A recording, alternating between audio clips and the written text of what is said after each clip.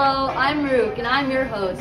Today I'm going to ask a couple of Sage students what they really liked about the program here. Hey, what grade are you in and what's your name? Um, I'm in grade 9 and I'm Ava. Nice. So what's one thing that you really like about Sage? Um, I like the teachers that teach in the program because they're clearly passionate about what they're teaching. Hey, what's your name and what grade are you in? I'm Sean and I'm in grade 10. Nice.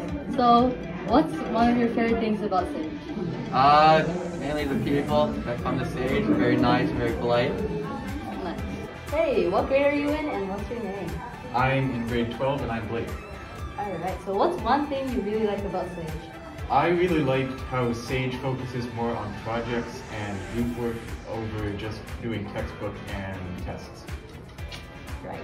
Hey, what's your name and what grade are you in? Hi, my name is Cece and I'm currently in grade 11.